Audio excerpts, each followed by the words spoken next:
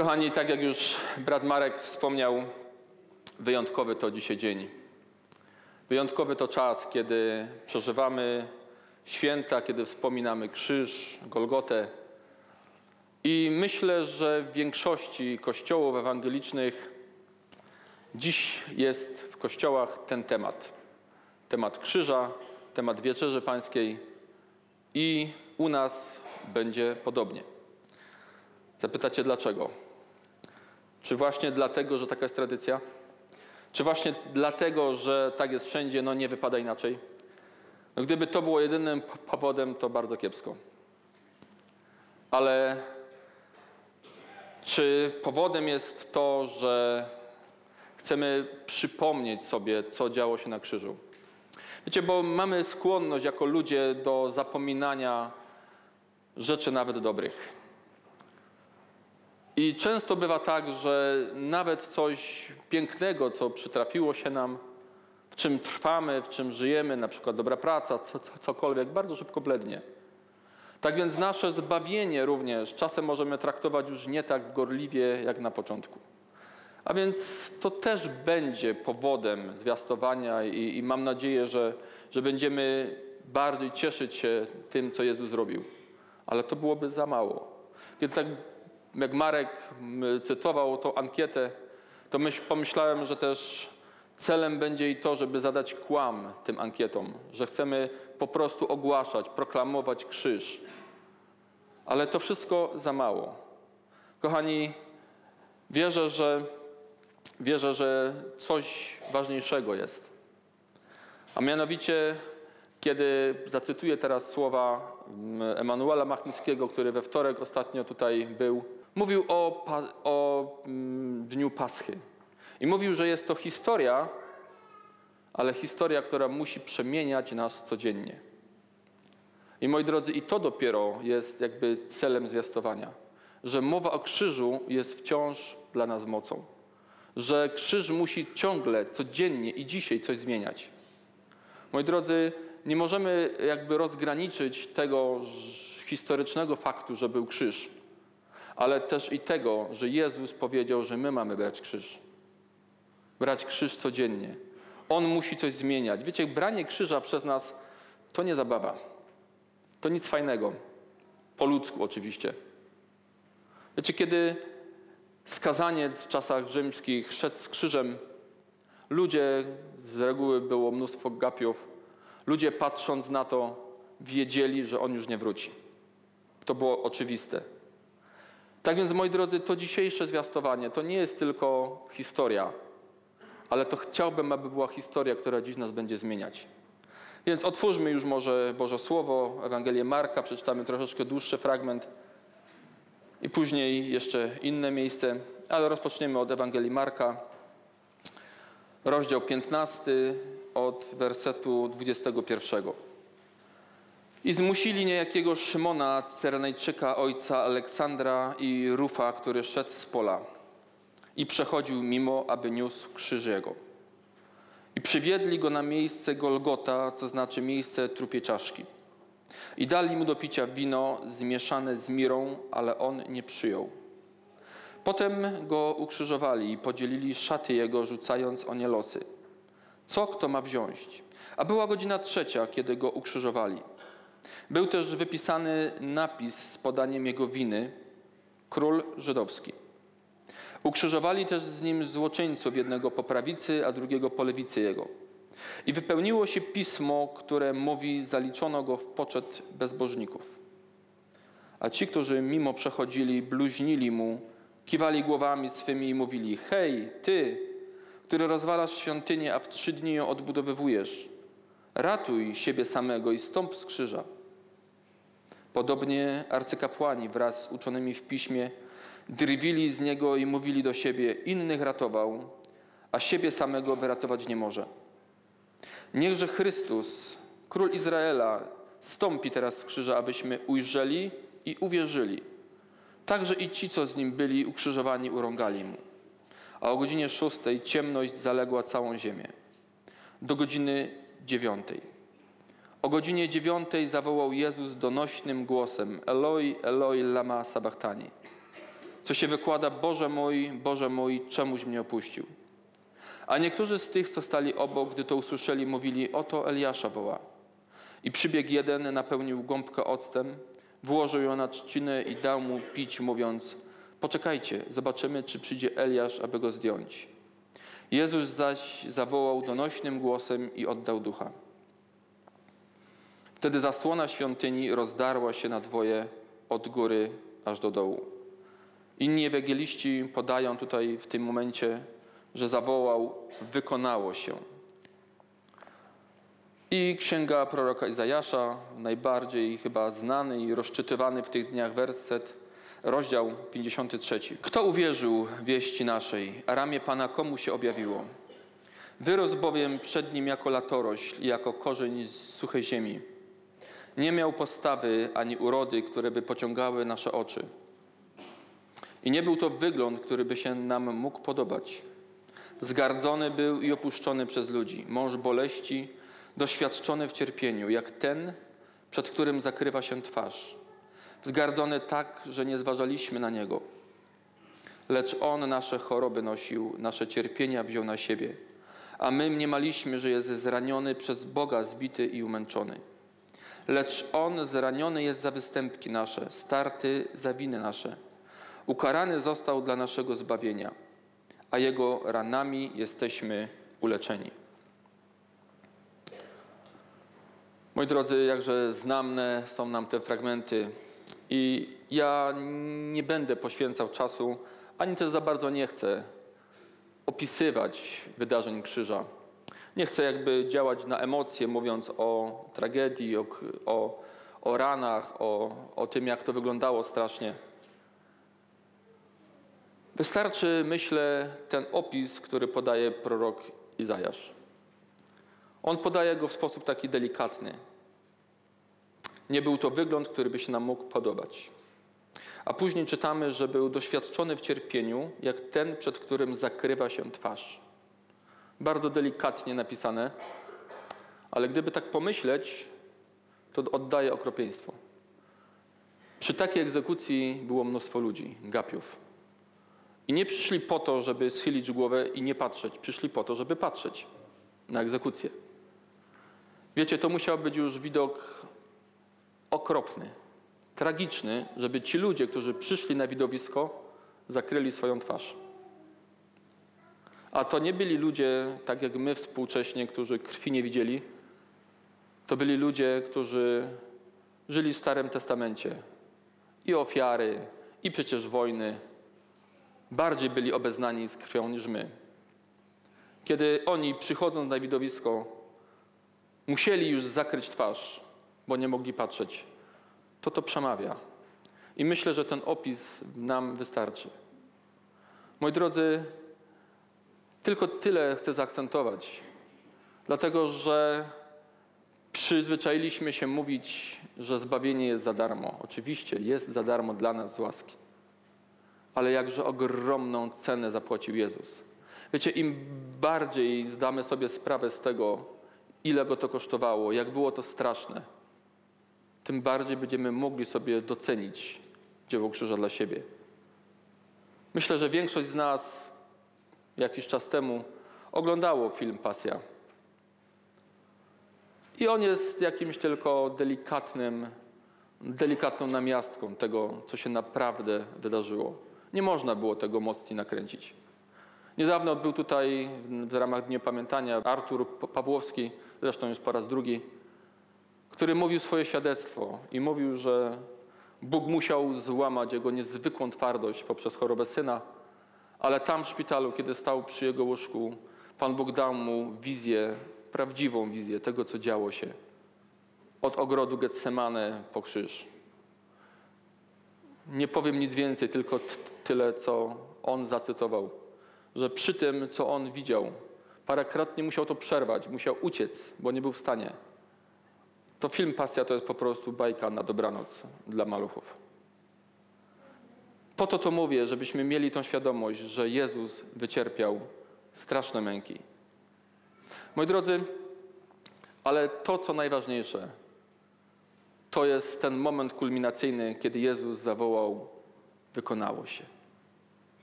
Wykonało się. Moi drodzy, to jest okrzyk nie porażki. To jest okrzyk triumfu. Wykonało się. To jest najpiękniejszy, najważniejszy moment w dziele zbawienia. To jest to sedno, to jest to apogeum. W tym momencie, kiedy Jezus zakrzyknął, wykonało się, w żadnym innym momencie, ale właśnie w tym rozdarła się zasłona w świątyni.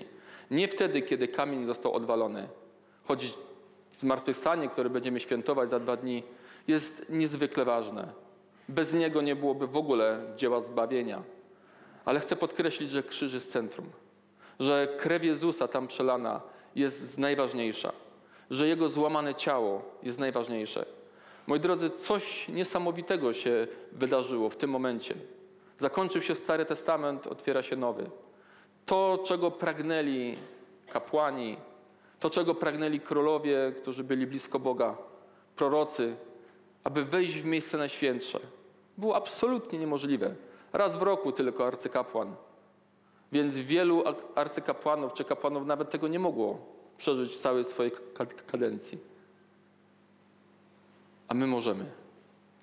Pytanie, czy doceniamy, że mamy wolny dostęp do Bożego tronu przed Bożą łaskę.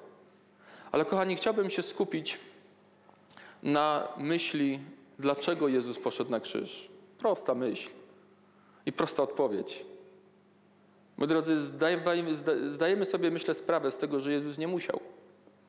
Tak, to był plan, który ojciec zawarli z synem gdzieś tam przed wiekami, zanim w ogóle świat powstał, że Jezus zgodził się, że pójdzie na krzyż.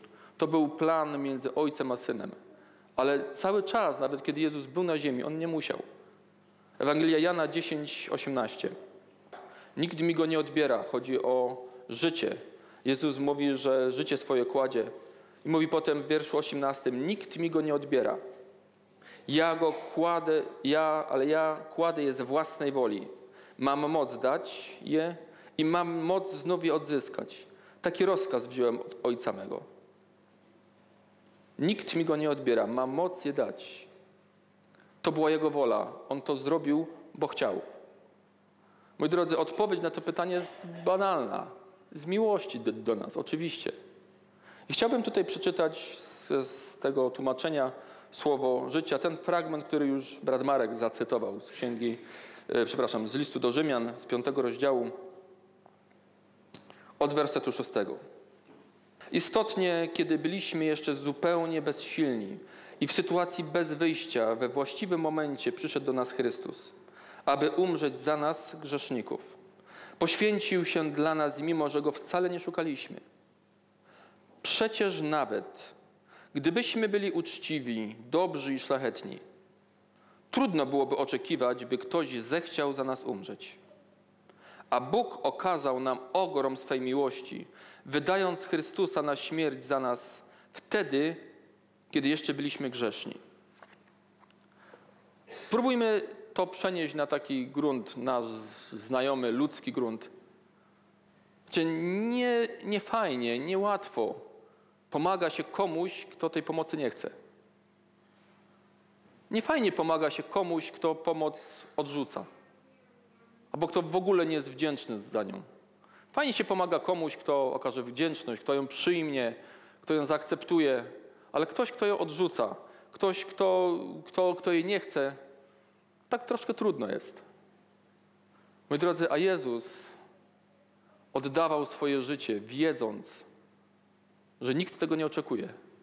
Kiedy patrzył na współczesnych mu, kiedy patrzył na nawet na uczniów, na wszystkich tych ludzi, którzy żyli współcześnie, on wiedział, że nikt tego nie oczekuje. Kiedy patrzył na całe wieki przed sobą, na te miliardy ludzi, którzy będą żyć, wiedział, że większość z nich odrzuci. To jego ofiarę podepcze. Ale mimo to wiedział też, że nie mamy innego wyjścia. Wiedział, że jesteśmy skazani na śmierć. Bo Bożym prawem sprawiedliwości jest to, że za grzech jest śmierć. I musiała nastąpić śmierć. Cie pozwólcie, że podam pewien obraz, pewien przykład, który, że tak powiem, ma już dosyć długą brodę. To znaczy jest już stary, bo ja go pamiętam jeszcze, kiedy ja byłem chyba w szkółce, ale dawno go nie słyszałem, więc przypuszczam, że ktoś go w ogóle mógł nie słyszeć. Przykład o dwóch braciach, z których jeden był bardzo porządnym człowiekiem, poukładanym, solidnym, pobożnym, a drugi był po prostu bandytą. I jednego wieczoru czy nocy ten niedobry człowiek załomotał do drzwi swojego brata i woła: Ratuj mnie, bo zabiłem człowieka. Ratuj mnie. Ten patrzy rzeczywiście, całe ubranie poplamione krwią i powiedział mu: Ściągaj to szybko z siebie. I zamknij się tam w drugim pokoju. Kiedy to się stało, ten dobry brat szybko ubrał na siebie te brudne ciuchy poplamione krwią. I w tym momencie rozległo się kolejne łomotanie w drzwi i to już była policja, która przyszła po niego. I pytają, czy to pan zabił tego człowieka? Tak, ja. No więc go wzięli. I kiedy rano tamten się obudził, przetrzeźwiał, ruszyło go sumienie. I poszedł na policję zgłosić, że to on zabił tego człowieka. Przychodzi, przedstawia się i mówi, co się stało, że on jest winien śmierci tamtego człowieka. A policja mówi, ale za późno. My już winnego mamy. A on mówi, ale to nieprawda, tamten jest niewinny, to ja jestem winny, to mnie, mnie, mnie ukażcie. Ale ten policjant mówi, ale za późno, bo tej nocy została egzekucja wykonana. I tamten człowiek już zmarł. Za późno. Ale mówi, ale jak to? Przecież to ja jestem winny. Pan jest wolny. Kara została wykonana. Pan może iść wolny. Jak mówię, przykład stary, ale coś nam obrazuje. Moi drodzy, dokładnie podobnie, podobnie, nie dokładnie, podobnie oczywiście, wydarzyło się o tym, co mówimy. Jezus Chrystus właśnie ubrał na siebie nasze brudne szaty, powiem w cudzysłowie, nasze grzechy i poszedł na krzyż. I kara została wykonana. Nie musimy umierać. Moi drodzy, ale przypomnę znowu to, co we wtorek słyszeliśmy. Tak jak w sytuacji Paschy. Baranek został zabity. I to wcale nie sprawiło, że dom był bezpieczny. To, że baranek został zabity, wcale nie sprawiło, że w domu mieszkańcy byli bezpieczni.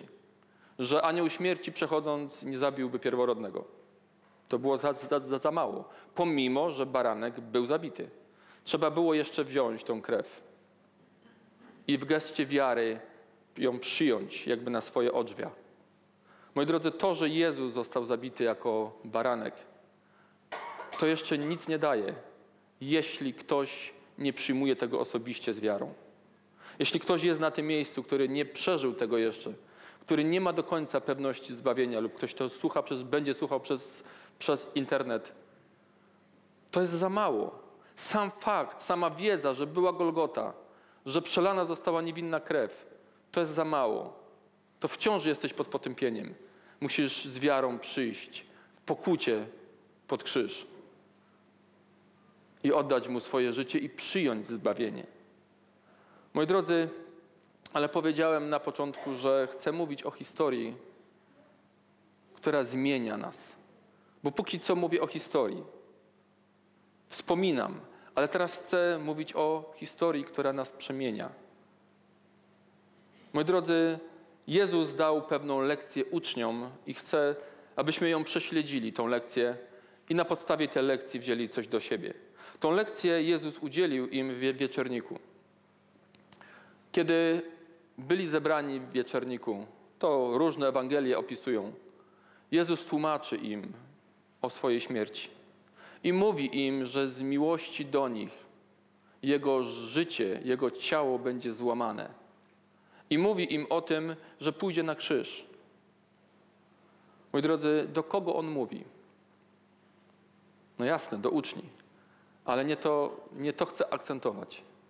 Gdzie on mówi do tych, którzy nie do końca są fajni.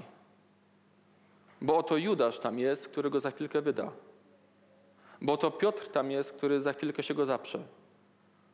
A wszyscy pozostani pouciekają. A więc Jezus mówi do grona, do ludzi, mówi, mówi, że moje ciało będzie za was złamane, będzie za was wydane. Mówi to do ludzi, którzy go zdradzą, którzy pouciekają, którzy się go zaprą. Ewangelii Jana, 13 rozdziale, 21 werset jest podane niesamowite słowo. Jezus wstrząśnięty do głębi oświadczył mówiąc, zaprawdę, zaprawdę powiadam wam, jeden z was mnie wyda. Wstrząśnięty do głębi. Jakież to były niesamowite emocje. Ale moi drodzy, w tym wszystkim, w tym wydarzeniu Jezus mówi do tych, którzy wiedzą, którzy, znaczy On mówi wiedząc o tym, że oni zachowają się w ten sposób. Wyprzedzając troszkę wydarzenia, Jezus później na krzyżu mówi niesamowite słowa. Ojcze, przebacz im, bo nie wiedzą, co czynią. A więc mówi, Boże, Ojcze, ja im przebaczam. Więc mówi jakby z krzyża, patrząc na ludzi go otaczających. Mówi, ja kocham tych ludzi. Ja przebaczam tym ludziom i tym oprawcom rzymskim i tym, którzy wołali jeszcze nie tak dawno, ukrzyżuj go, ukrzyżuj go. Przebaczam i kocham tych, którzy wołali, wydaj Jezusa, a daj nam Barabasza. Moi drodzy, na krzyżu zdarzyła się niezwykła rzecz. Oto Jezus jakby rozprawił się z siłą nieprzebaczenia. Nikt z nas nie może powiedzieć, że nie możemy przebaczyć, skoro Jezus oddał swoje życie za, za, za nas i nam przebaczył. Moi drodzy, ale na czym polega ta lekcja? Bo wspomniałem, że Jezus udziela lekcji swoim uczniom. Więc na czym polega ta lekcja? Oto Jezus mówi uczniom, co będzie, tłumaczy im, okazuje im swoją miłość. I w wersecie 34, to jest 13 rozdział Ewangelii Jana, to jest, nie wiem, może minuta po tym, kiedy Jezus dał umoczony w misie kawałek chleba Judaszowi. Judasz wziął i wyszedł. Jezus powiedział mu, co masz czynić, czyń zaraz. Nie zrozumieli tego uczniowie, ale Judasz tak i Jezus też. I drzwi się zamykają. Jezus mówi takie słowa. Nowe przykazanie daję wam, abyście się wzajemnie miłowali, jak ja was umiłowałem. Abyście się i wy wzajemnie miłowali. Po tym wszyscy, po tym wszyscy poznają, żeście uczniami moimi, jeśli miłość wzajemną mieć będziecie. A więc Jezus im mówi w ten sposób. Ta lekcja polegała na tym, wy róbcie to, co widzicie u mnie. To jest lekcja, którą uczniowie odebrali. Tak jak ja was umiłowałem, tak wy się miłujcie nawzajem. A jak ja was umiłowałem, to podaję. To popatrzcie, jak ja was umiłowałem. Idę za was na krzyż. Idę i pozwalam, żeby moje ciało zostało złamane. To jest miłość, moja miłość do was. A ta lekcja polega na tym, a teraz wy, kiedy ja odejdę, nawzajem się miłujcie tak samo. Już dwa, dwa razy z rzędu mówiłem o miłości wzajemnej i dziś, jak słyszycie, też chcę coś powiedzieć w tym temacie, bo przecież krzyż nam to zwiastuje, bo przecież wieczerza pańska, do której będziemy za chwileczkę przystępować, również na, o, tym, o tym mówi. Otwórzmy już to miejsce najbardziej znane, zatytułowane o ustanowieniu wieczerzy pańskiej. Albowiem ja przejąłem od Pana to, co wam przekazałem, że Pan Jezus tej nocy, której był wydany, wziął chleb. A podziękowawszy, złamał i rzekł: Bierzcie, jedźcie, to jest ciało moje za was wydane. To czyńcie na pamiątkę moją. Podobnie i kielich po wieczerzy, mówiąc: Ten kielich to nowe przymierze we krwi mojej to czyńcie, ilekroć pić będziecie na pamiątkę moją. Zobaczcie, od jakiego słowa rozpoczyna się ten tekst. Od słowa albowiem. Gdzie my słyszymy ten tekst przynajmniej raz na miesiąc. I bardzo się nam osłuchał. I nie wiem, czy zwracamy uwagę na to, co znaczy w tym momencie słowo albowiem. Być może go tak traktujemy jako taki wy, wypełniacz. No tak to brzmi bardzo chrześcijańsko, tak fajnie to brzmi. Ale ono tu jest bardzo celowe. Żadne słowo w Biblii jest, nie, nie może być bez celu. Słowo albowiem i w tym miejscu, i za każdym razem w innym miejscu jest użyte jako łącznik między dwoma myślami, jako coś, co wynika z poprzedniego. Najlepiej mógłbym go zastąpić słowem ponieważ. Nie da się oddzielić myśli pierwszej od tej następnej. A więc zobaczmy, co jest poprzedzającą myślą, bo to jest niezwykle istotne. Oto kilka wersetów wcześniej. Apostoł Paweł rozprawia się z tym, co dzieje się w zborze w Koryncie. A dzieje się źle, bo są tam spory, bo są tam podziały, bo robią się jakieś frakcje, jakieś grupy na tych, którzy się tam wzajemnie lubią, nie lubią. Spójrzcie na 22 werset, czyli bezpośrednio przed 23. Paweł, apostoł Paweł mówi, albo czy zborem Bożym gardzicie, jakież mocne słowo, gardzicie zborem. I dalej, i poniewieracie tymi, którzy nic nie mają. Wytyka im, że poniewierają, to jest niezwykle mocne słowo. Jakąś grupą ludzi, może tych uboższych, może tworzą się jakieś frakcje i jedni z drugimi niespecjalnie chcą funkcjonować. I apostoł Paweł mówi, czy ja was za to mam pochwalić? Nie, za to was nie pochwalę, za to ich karci. I mówiąc to, później mówi, ponieważ ja przejąłem od Pana to, co wam przekazałem. Zobaczcie, że wieczerza pańska jest jakby usytuowana w tym kontekście. Kontekście nieporozumień, sporów, kontekście braku miłości wzajemnej.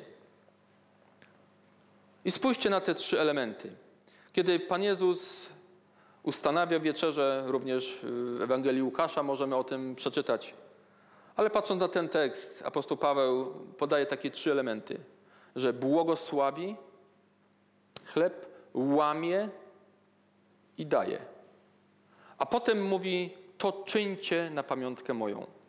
Moi drodzy, i na to chcę dzisiaj położyć największy nacisk. To czyńcie. To czyńcie. Czyli co? Co czyńcie? Kochani, czy naprawdę chodzi tylko o złamanie kawałka chleba? Czy to jest wszystko? Oczywiście też, bo to jest ustanowienie pańskie i łamiemy chleb co miesiąc. Oczywiście tak, też, ale daleko o coś więcej. Jezus mówi: To czyńcie, co widzieliście u mnie. To czyńcie, co ja wam pokazałem. Ja złamałem swoje ciało. Jezus pokazuje to w geście łamania chleba również. Ja złamałem swoje ciało, więc wy bądźcie również złamanych serc wobec siebie. Więc wy w swoim życiu, w swoim funkcjonowaniu miejcie wobec siebie złamane serca. Niech przebaczenie wylewa się z waszych serc. Troszcie się o siebie, miłujcie się. 26 werset. Albowiem ilekroć ten chleb jecie, a z kielicha tego pijecie, śmierć pańską zwiastujecie, aż przyjdzie. I spróbuję ten werset powiedzieć troszeczkę inaczej. To słowo albowiem już wiemy, że zastąpię go słowem ponieważ. Ponieważ przez cały czas, dopóki macie taką postawę wobec siebie, złamanych serc, to dopóki to robicie, to śmierć pańską zwiastujecie. A mówiąc inaczej, tak długo, jak macie wobec siebie postawę złamanych serc, tak długo ogłaszacie moc krzyża wobec tego świata. Tak długo jesteście największą demonstracją mocy i miłości krzyża wobec tego świata. Ale kiedy przyjmiecie inną postawę, dopowiadam, to stracicie tą moc. Moi drodzy, myśląc o Jezusie, o Jego dziele, Oczywiście zadam pytanie trochę bez sensu, ale chcę, żeby nas na coś zaprowadziło. Widzimy w nim kogoś, kto bardziej bierze czy daje. Powiedziałem, że bez sensu trochę. Bo wiemy, oczywiście, odpowiedź jest znana, że daje. No właśnie, a my? Cały czas mówię, że mamy się uczyć, że udziela nam lekcji, że mamy dokładnie robić to, co On robi, to, co się u Niego nauczyliśmy, to, co widzimy u Niego. Jeszcze raz ten obraz wieczerzy. Błogosławił, złamał i dawał. Jezus nie tylko wziął chleb i złamał, jeszcze zanim nastąpiła egzekucja, ale rzeczywiście później wyszli z tego pokoju. Jego ciało faktycznie zostało złamane, zmasakrowane, a potem nam je dał w ofierze, umierając. Moi drodzy, jak łatwo my, jako ludzie wierzący, wolimy się zatrzymać na tym pierwszym elemencie. Błogosławił. Jakże fajnie jest przyjmować błogosławieństwa i prosić błogosław mnie, błogosław to, błogosław pracę moją. Kochani, nie zrozumcie mnie źle. To jest wspaniałe. Bóg jest Ojcem dawania. On z radością nam daje. On z radością, to jest radość dla Niego nam dawać. Problem w tym, jeśli nie idziemy dalej. Problem w tym, jeśli nie pozwolimy na to, aby On złamał nasze życie, złamał naszą dumę, złamał nasze ja, złamał naszą ambicję, czy, czy nasze, nasze racje, nasze cele. Potem też nie możemy przejść do etapu dawania. Czy kiedy Jezus mówi tutaj o miłości, za każdym razem jest użyte słowo greckie agape. Znamy, wiemy o tym, że agape to jest ta miłość niesamolubna, bezwarunkowa, ofiarna.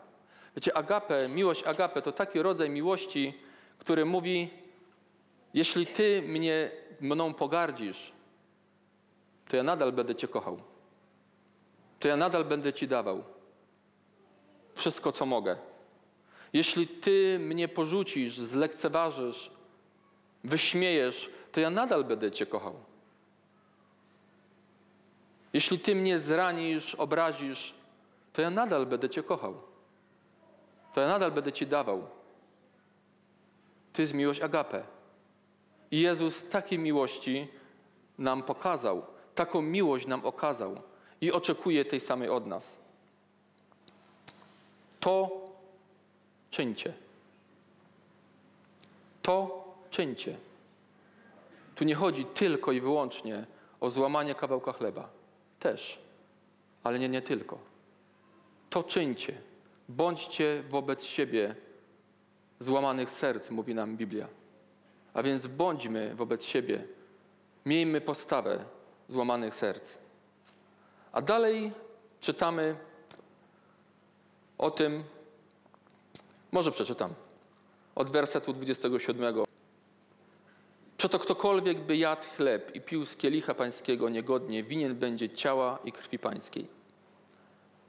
Niechże więc człowiek samego siebie doświadcza i tak niech je z chleba tego i z kielicha tego pije. Albowiem kto je i pije niegodnie, nie rozróżniając ciała pańskiego, sąd własny je i pije. Dlatego jest między wami wielu chorych i słabych, a nie mało zasnęło. Zanim popatrzę na to ostatnie słowo, to jeszcze chcę przypomnieć 28. Niechże więc człowiek samego siebie doświadcza i tak niech, co tam jest napisane? Niech się powstrzyma? Niech się powstrzymuje miesiąc, drugi, pół roku? Nie. Nie możemy tak robić. Mamy przeanalizować swoje życie i jeść, i brać. Oczywiście, jeżeli na ten moment nie możemy, no to nie, to lepiej nie. Ale nie możemy w tym tkwić. Słowo Boże mówi wyraźnie, doświadcza i tak niech je i pije. Ale chciałem zobaczyć na ten werset 30. Dlatego jest między wami wielu chorych, słabych i niemało zasnęło. Greckie słowo użyte tam jako słaby, przetłumaczone inne słowa oddające to samo w konkordacji, tak jest napisane. To jest bezsilny, chorowity, biedny, nędzny, lichy. I te słowa, czyli chorych, słabych, niemało zasnęło, można rozpatrywać fizycznie i duchowo. No bo przecież można być chorym fizycznie, prawda? I można być chorym duchowo, prawda? Można być słabym fizycznie i duchowo. Można zasnąć a raczej tu jest myśl umrzeć i fizycznie, i duchowo. Moi drodzy, kończąc już, Pomyślmy przez moment. Czy to jest możliwe? Czy to jest aż tak proste, że możemy być słabi duchowo czy chorzy? Chcę teraz mówić o tym duchowym aspekcie. Właśnie tylko dlatego, że odrzucamy miłość. Moi drodzy, czytając ten fragment, tak pomyślałem o, o kimś, nie, nie o kimś personalnie, ale po prostu o, o człowieku jakimś. Myślę, że to będzie służyć jako przykład, który przyjmuje postawę taką, tak, ja chcę być członkiem ciała pańskiego. Kiedy czytam ten, ten moment, e, nie rozróżniając ciała pańskiego. Gdzie to jest, myślę o jakimś człowieku, który się nawraca, który pokutuje, który przychodzi w pokucie do Boga i chce się przyłączyć do społeczności, do zboru, do ciała pańskiego. Ale to słowo nie rozróżniając, mówi mi o czymś takim, że jakby nie umie się zachować w biblijnych standardach w tym ciele pańskim. A więc mówi tak, ja chcę być w ciele pańskim, chcę być adoptowany do ciała pańskiego, ale nie jestem gotów na to, aby mieć złamane serce wobec innych. Ale nie jestem gotów, aby przebaczać, kiedy mnie ranią. Ale nie jestem gotów docierać z miłością do tych, których nie lubię, albo oni mnie nie lubią.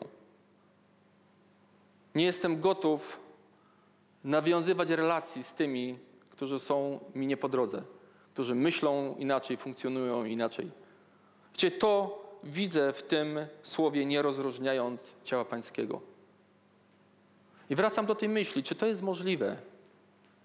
Czy to jest aż tak proste, że czasem nasza słabość, czy nasze świadectwo wobec tego świata może być słabe?